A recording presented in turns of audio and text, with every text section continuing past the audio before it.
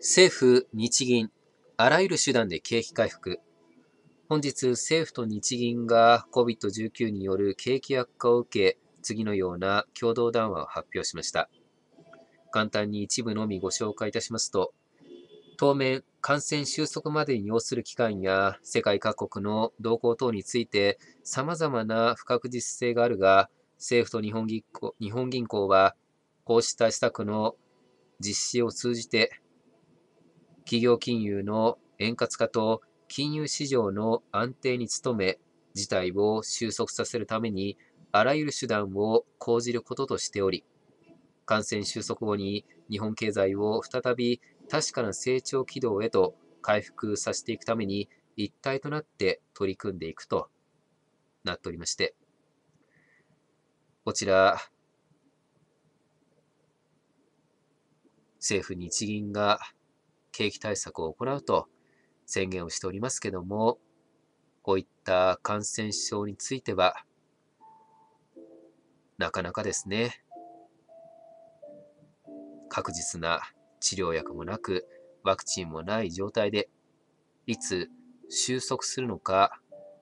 わからないという問題があり、まあ、そういった中で企業側が計画も立てられず、まあ、非常にですね、まあ、困っていると困り果てているという問題がございます。ま、そういった中で、政府はなんとかそういった企業に対し、支援を行い、収束までに、収束までですね、なんとか持ちこたえられるようにと対策を講じておりますが、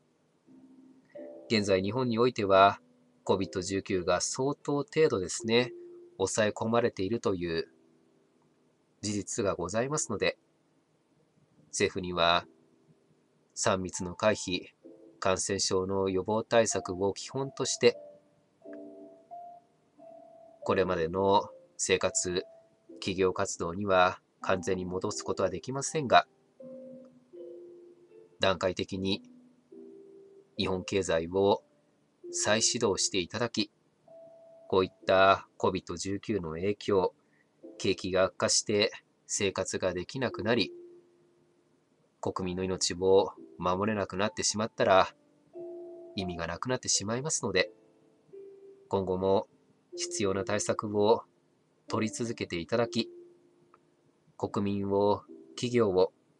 可能な限り守っていただくようにお願いいたします。以上になります。ご清聴いただきありがとうございました。